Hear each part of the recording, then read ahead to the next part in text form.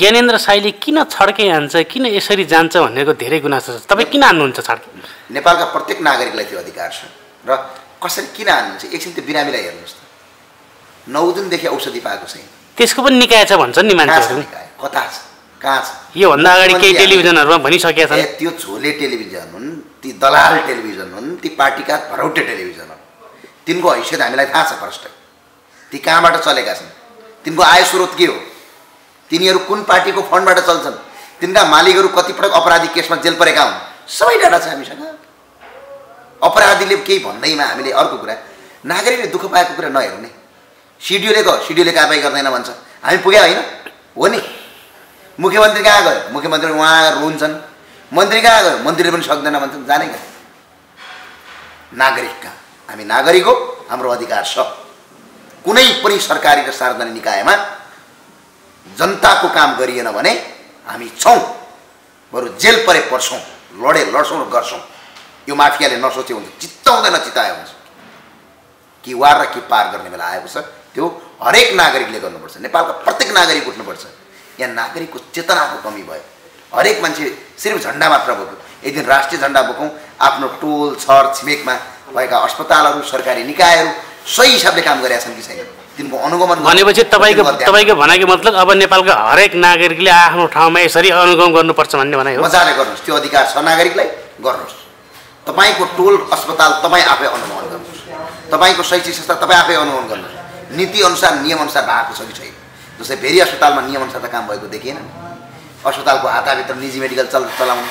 सरकारले दिएका सरकारी सरकारले दिएका नि शुल्क औषधिहरू पनि छैनन् भनेर गलत गलत बिल बनाएर प्राइभेटमा किन्न पठाउने।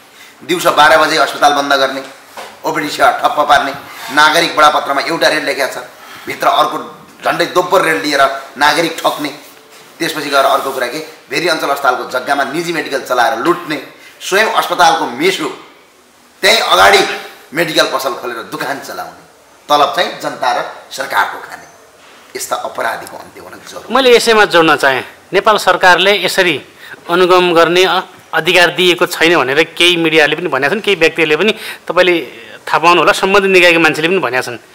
ती सम्बन्धित निकायका? काठमाडौँ जाँदैछौँ। हामी भेट्छौँ।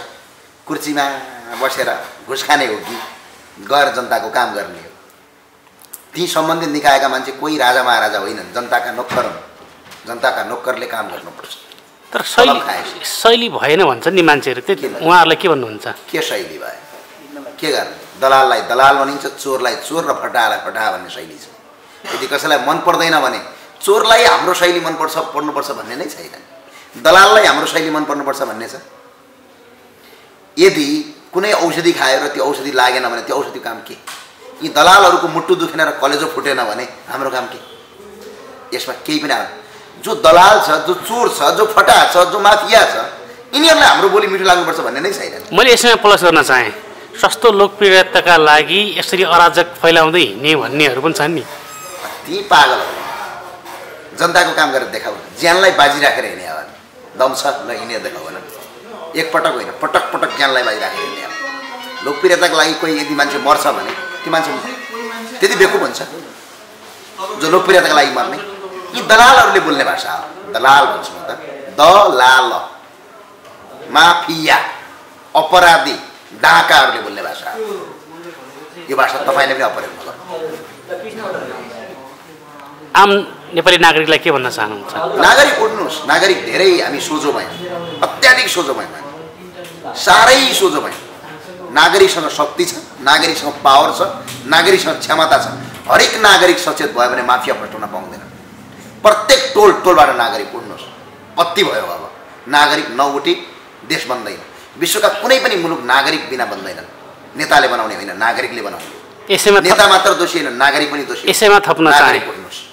तपाईँका अभियन्ताहरूलाई यसरी नियन्त्रणमा लिइराखेको छ प्रहरीले पक्राउ गरिराखेको छ अभियन्ताहरूले पनि अलिकति डर लागेको छ। उहाँहरूलाई चाहिँ के भन्नुहुन्छ?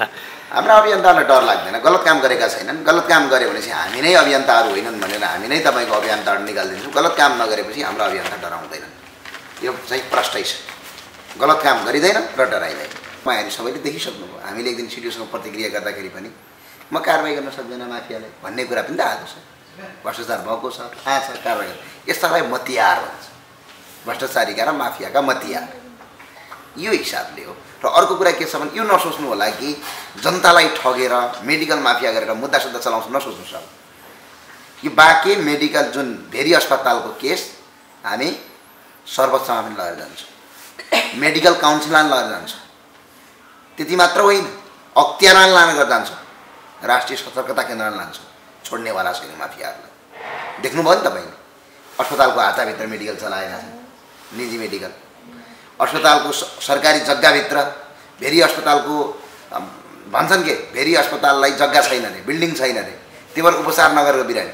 भएको बिल्डिङ प्राइभेटलाई दिएर मेडिकल चलाइराखेका छन् यी माफियाहरूले यस्ता माफियाहरू छन्।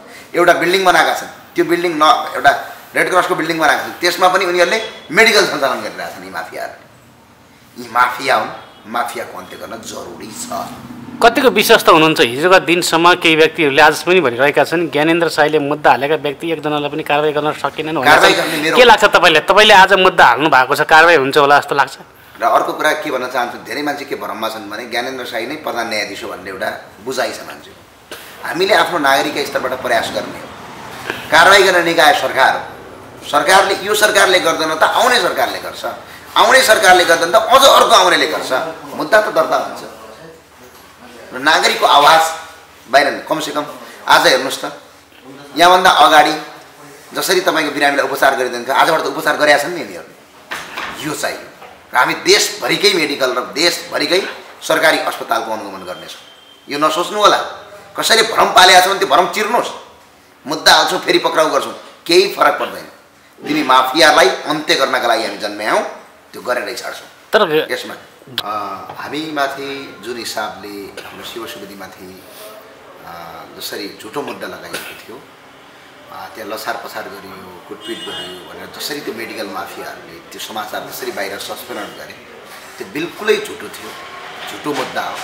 यो झुटो मुद्दा लगाएको कारणले गर्दाखेरि आज हाम्रो नेपाल हामी नेपाली अभियानले उन्नाइस सय बयासी दर्ता नम्बर उन्नाइस सय बयासी दुई हजार सतहत्तर दस महिना तेइस गतिका दिनमा बाँके जिल्ला प्रशासन कार्यालयमा झुटो मुद्दा लगाउने गाली विजेत गर्ने जातीय विभेद गर्ने मेडिकल माफियालाई हामीले फेरि मुद्दा दर्ता गराएका छौँ। अब बाँके जिल्लाका सिडिओलाई मेरो विनम्र अनुरोध छ मेडिकल माफियाको संरक्षण होइन कि जनताको संरक्षण गर्नुहोस् र यी झुटो मुद्दा लगाउने मेडिकल माफियाहरूलाई एकपटक फेरि पक्राउ गरेर यिनीहरूको भिडियो क्लिपसम्म सार्वजनिक भएको छ। यिनीहरूले अपशब्द प्रयोग गरेको यिनीहरूले गाली गलौज गरेको यिनीहरूले टाउको फुटाउने खुट्टा बाँच्नेसम्म बोलेका यी अपशब्द शब्दहरू जसरी अपशब्द बोलेका छन् यिनीलाई जातीय विभेदको विरुद्धको मुद्दा जसरी दुम्ली थ्याङ्चा भन्दै यिनले बोलेका छन् यिनका विरुद्ध मुद्दा दर्ता भइसकेको छ। उन्नाइस सय बयासी मुद्दा दर्ता भएको छ। यी डाक्टर हुन् कि डाका हुन् भन्ने जस्तो पनि भइरहेछ नागरिकले। नागरिकले त्यो कुरा गरिराखेका छन्। र अर्को कुरा यिनीहरूले हामीलाई के गर भने भनेपछि लसार पसार गऱ्यो भनेर जुन एक किसिमले बोले। अब यहाँ के छ भने स्वयं नर्स देवाजीसीसँग गरिएको हामीसँग अडियो कल रेकर्ड पनि छ। जहाँ देवाजीसीले हामीलाई कुनै पनि लसार पसार गरिएको छैन हामीलाई केही पनि गरिएको छैन भनेकी छ। तर अहिले मेडिकल माफियाले यिनीहरूलाई प्रयोग गरेर र डाक्टर विपिन आचार्य जस्तो मान्छेलाई प्रयोग गरेर नर्स देवाजीसीलाई प्रयोग गरेर मेडिकल माफियाले आफ्नो राजनीतिक फाइदाका लागि आफ्नो मेडिकल माफिया चलाउनका लागि यिनीहरूलाई प्रयोग गरेर गलत मुद्दा दिएका छन् र अहिले पनि म आग्रह गर्न के चाहन्छु डाक्टर विपिन आचार्यलाई देवाजीसीलाई यदि प्रुफ छ भने प्रमाण तिम्रो सिसिटिभी चलेको होला अस्पतालको कुनै पनि चिज चलेको होला। बरु उल्टो अभद्र व्यवहार हामीमाथि गरिएको छ। उल्टो जातीय विभेद हामीमाथि गरिएको छ। त्यो भएको हुँदाखेरि यस्ता गलत किसिमका काम गर्नेका लागि बाँके जिल्ला प्रशासन कार्यालयमा उन्नाइस सय बयासी मुद्दा दर्ता नम्बर अहिले दर्ता भइसकेको छ मुद्दा। अब छिटोभन्दा छिटो ती मेडिकल माफियालाई पक्राउ गरेर थप कानुनी कदम चाल्न बाँकेका सिटलाई हार्दिक अनुरोध गर्दछौँ। जुन मुद्दा हामीमाथि आज झुटो मुद्दा लगाइएको छ त्यो मुद्दा झुटो हामी अदालतबाटै साबित गर्नेछौँ। धन्यवाद। नमस्कार सबैलाई। मलाई चाहिँ अभद्र व्यवहारको मुद्दामा चाहिँ फसाइयो यो चाहिँ सरासर झुटो हो। यसमा मेरो कुनै पनि दोष र कसुर छैन। उहाँहरू आफैमा दोषी हुनुहुन्छ। मलाई चाहिँ पछाडिबाट ब्याक साइडबाट रात्रिले पनि हानिएको छ र धक्का पनि लगाइएको छ र मलाई चाहिँ अभद्र व्यवहार मेमाथि गरिएको छ। यो चाहिँ झुटो हो। उहाँहरूले चाहिँ जति पनि गर्नुभएको छ यो यो यो ममाथि गरिएको व्यवहार चाहिँ सरासर सत्य हो र मैले गरेको व्यवहार चाहिँ झुटो हो। धन्यवाद। कति हजार धरोटीमा छुट्नुभयो धरोटी त मलाई दस हजार रुपियाँ धरोटी लिएँ अहिलेको जुन उसमा? केही प्रतिवाद गर्नुभयो? किन लियो यति भनेर? त्यो प्रतिवाद गर्ने कुनै रहेनछ अहिले चाहिँ अब दस हजारदेखि माथि अब कुनै ऊ छैन। दस हजार चाहिँ अब। राखिएको छ। प्रतिवादमा के हो भने सिडिओ नै माफियाको संरक्षणकारी हो। स्वयं सिडिओ माफियाको संरक्षण गरिराखेका छन् भन्ने कुरा त विभिन्न सरकारी निकायमा नागरिकको हक अधिकारको निम्ति नागरिकको गुनासो आएको हुनाले विभिन्न क्षेत्रबाट यातायात क्षेत्रबाट मालपोत क्षेत्रबाट सरकारी अस्पतालबाट जनताको गुनासो अत्याधिक आएको हुनाले हामीले के छ त भनेर यसो न घुम जाँदाखेरि हाम्रा अभियन्ता केन्द्रीय सदस्य शिव सुवेदीलाई बिना कारण भेरी अञ्चल अस्पतालका माफियाहरूले बाहिर मेडिकल चलाउने माफियाहरूले भित्र चाहिँ बिना कसुरको भित्र हाल्नुभयो। त्यसको प्रतिवादमा हामीले आज उहाँ उहाँलाई निकालेका छौँ उहाँ आउनुभएको छ। र त्यो मुद्दा सरासर गलत मुद्दा थियो किनभने नागरिकको हक हितको लागि यिनीहरू डाका डाक्टर होइन म त यिनीहरूलाई डाकु नै भन्छु। यो एउटा चाहिँ डाकाले चाहिँ चक्कु समातेको हुन्छ र यिनले चाहिँ यिनले चाहिँ एउटा सिरेज समाते समातेका हुन्छन् ब्लेड समातेका हुन्छन्। मैले बचाउने डाक्टर भनेको थिएँ भने यिनी त डाकु रहेछन्। डाकुको व्यवहार गरेर जनतालाई लुट्ने गरेका रहेछन्। भेरी अञ्चल अस्पतालमा। सोझा साझा जनतालाई लुट्नेहरूलाई अब हामी प्रदेशको हिसाबले हामी एउटा टिम बनाएर विभिन्न सरकारी निकायमा जान्छौँ र हामीले यिनीहरूलाई प यिनीहरूले सोचे अब हामीले यिनीहरूलाई हरायौँ यिनीहरू भागे अब यिनीहरू फर्किनन् भनेका सोचे होलान्। यो नसोचे हुन्छ कदापि हामी ज्यान गए पनि छोड्दैनौँ बरु हामीलाई वर्षौँसम्म हामी जेल बस्न पनि तयार छौँ। यी लुटेर यी फटा यी चोरहरूलाई हामी सचेत गराएरै छोड्छौँ र आम नागरिकलाई पनि हामी आह्वान गर्छौँ। नागरिकको लागि पनि हामी नागरिकलाई आह्वान गरेर नागरिकलाई हामी आफ्नो नम्बर दिन्छौँ। म आफ्नो प्रदेश संयोजकको हिसाबले म अहिले हजुरको मिडियाबाट नै आफ्नो नम्बर दिन चाहन्छु। कोही पनि क- कनै मैले मैले मैले तपाईँको कुरालाई रोकिरहेसम्म जोड्न चाहेँ। लुम्बिनी भेरी अस्पतालका डाक्टरहरूलाई कुट्यो भनेर तपाईँहरूमाथि आरोप छ। तपाईँ संयोजक हुनुहुन्छ। कुट्नु भएको थियो? कुटेको छैन यो। यिनीहरू आफू बच्नको लागि अब के भनौँ यिनीहरू आइसके भनेर आफू बच्नको लागि यो लगाएको आरोप हो। यो यो कुटेको हात हालेको कसैले छँदै छैन यसमा? कसैलाई पनि केही गरेको छैन? हाम्रो अभियन्ता साथीहरू हाम्रो अभियन्ता साथीहरू कार्ड देखेर तिनीहरू कुनै डाक्टर पनि का रूपमा थिएनन् कि? डाक्टरको ड्रेस पनि थिएन झोला बोकेर डाक्टर हुन् कि गुन्डा हुन् कि केही पनि थाहा थिएन। उहाँको एउटा आइडेन्टिफिकेसन केही पनि थिएन। यसको लागि हाम्रो चाहिँ कसैले केही कुटेकै छैन। भनेपछि यी सबै कुराहरू बाहिर आएका कुराहरू सबै झुट हुन्छ सबै झुटो गल्ती हुने नि सब।